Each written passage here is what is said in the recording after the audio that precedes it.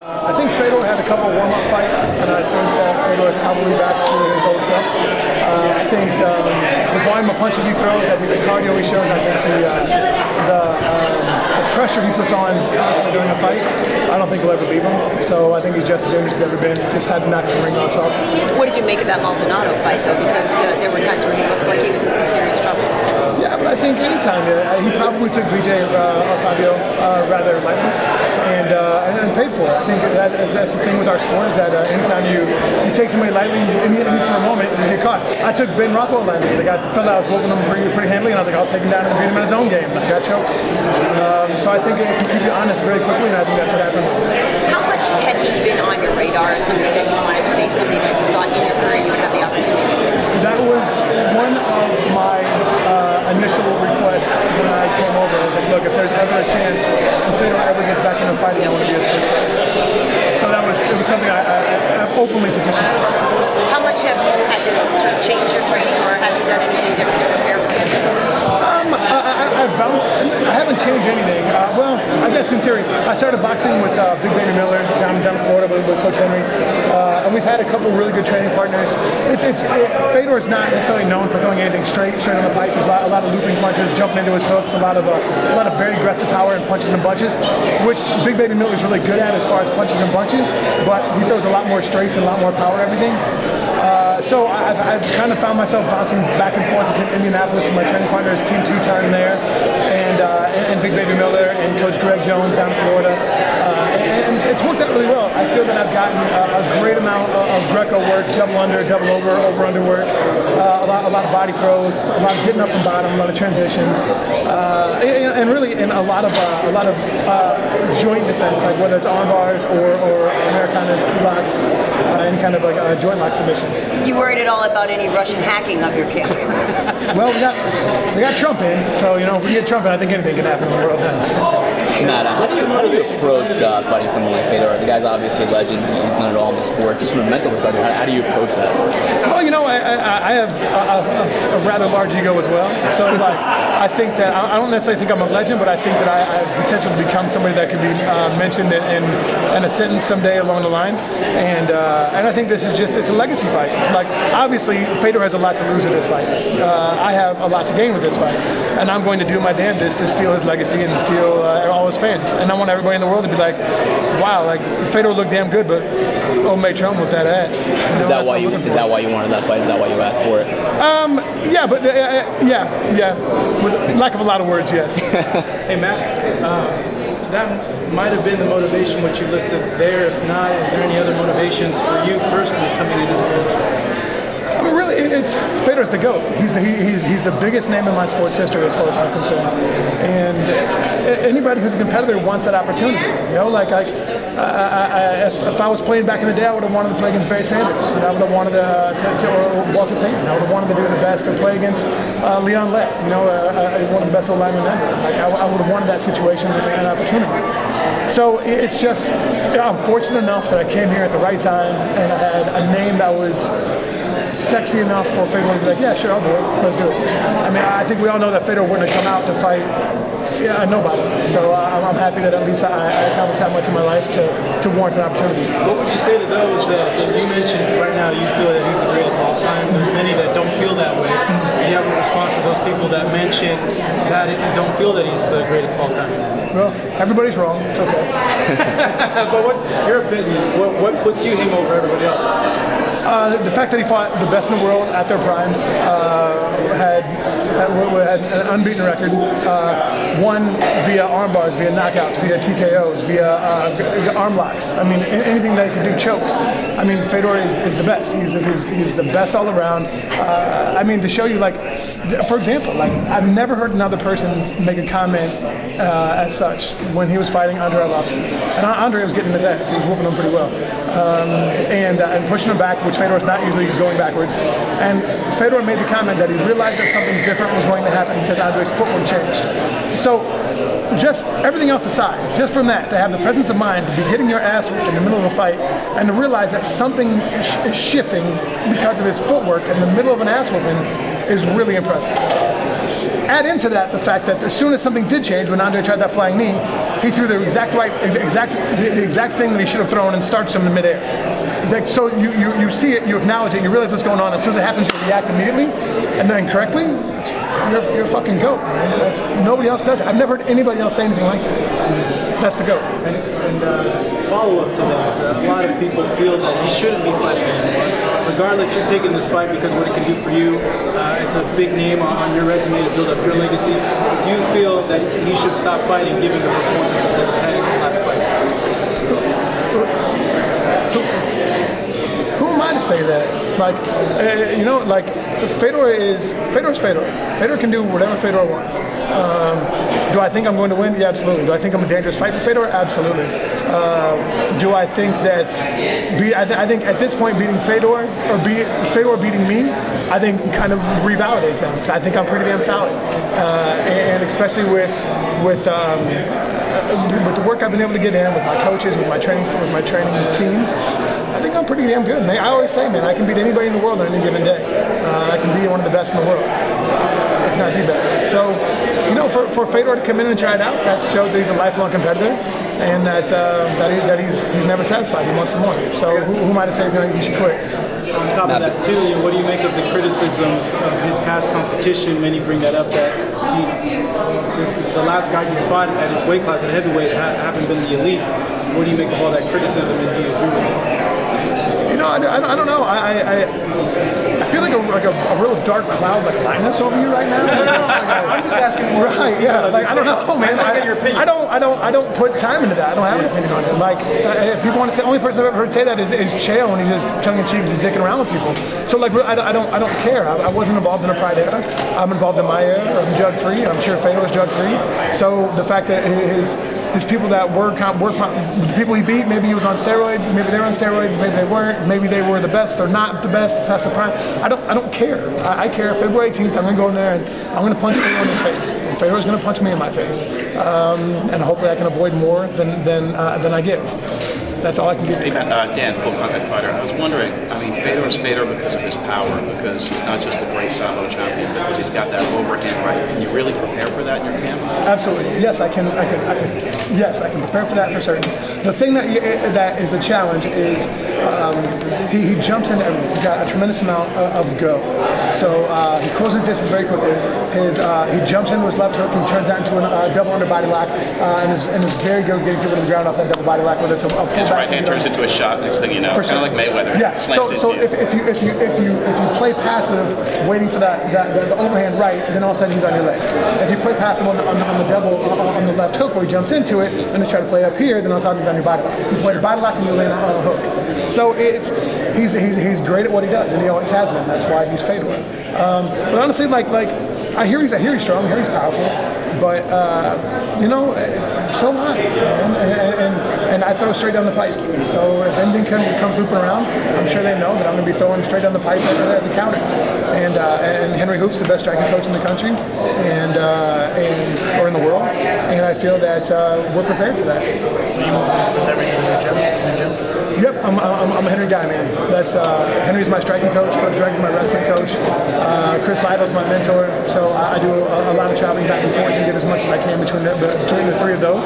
But my, my team, Team Two Ton, which is uh, Charles Stanback and, and uh, Ed Jones, I call him Butta. Um, there's there's nobody in the world I've ever met that has refrigerator strength like that. So refrigerator strength, you can pick up a refrigerator and create a block. You know, like so. The, and and they're, they're strong. Charles is a very strong Greco guy. So as soon as they get their hands on me, uh, I know I'm in trouble, and there's a five-point throw coming. So uh, I've been prepared for it. I got Coach Tom Erickson, Big Cat, uh, who always advises me and helps me out along the way. So I feel like the team I put together uh, has has kind of prepared me for this moment, and I, I've had a history of, of not succeeding at my, my, my biggest opportunities, and I plan on changing that. What, what would a, mean, a win over Fedor mean to you? It means I get paid. How many fights did you sign for with Bellator? Four, four or five deal. Yeah. And so the question would be, though, after Fedor, would everybody else be something of a letdown fight, or would you just at, at that point feel like the title fight would be the next best thing? Well, I mean, really, uh, I, I'm. I don't think there's such a thing as a letdown fight. Fedor's a huge fight, right? But I, I think that it, once you have that perspective, or you allow yourself to have that perspective of a letdown fight, that's when you get seriously hurt for the rest of your life, uh, and and that can easily happen. For example, uh, look at Kharitonov, right? Kharitonov, I, am assuming, did not take uh, Javi uh, uh, did very seriously, right? Came in there, wasn't wasn't totally lubed up. Maybe it was the walkout because it takes such a long time for Bellator for the original walkout to show the stage, everything else. Maybe it was, um, and, and, that happens, uh, and that was a, a brutal knockout. So I think that um, if you allow yourself to have that mentality, that's when bad things happen. So I, I don't I don't think I'll ever run into that. Matt, between uh, this fight this weekend and your fight with Fedor, Bellator probably has the two biggest fights of, of the year, at least the first two months. How do you see the progress going Bellator, and do you like where it's going? You know, I'm, I'm, I'm very happy with, with what Bellator is doing, primarily because they're not just throwing money and chasing any free agent. I think they're being very selective about who they pick. Uh, I think they're, they're, they're paying attention to who has a fan base, a good following, who, has, who, who affects ratings, uh, what their placements have always been on cards, uh, and, and what they've been able to do and I, I, think that they've made I think they've made very very intelligent choices, and I, am really happy with. Honestly, man, I'm really happy with the way that they treat us. Like it's, it's a totally different world. Like the just like not even the perks. It's just the conversation. Like you get to know everybody involved, and you're not just like if you have something to say, like even if they're just patronizing, you'd be like, oh yeah, right on, man, that sounds great. But it's at least like an entertaining. You're like, oh right on. I guess we could do this and this, and, and it's and then they could go away and never think about it again. But at least at the moment, you don't feel like you're being demeaned and, and, and just like, yeah, right on, dude. Kind of the situation. What do you think it'll take for Bellator to make that, that big leap to get on par with the UFC? You know, man, I, I, I don't, I don't know.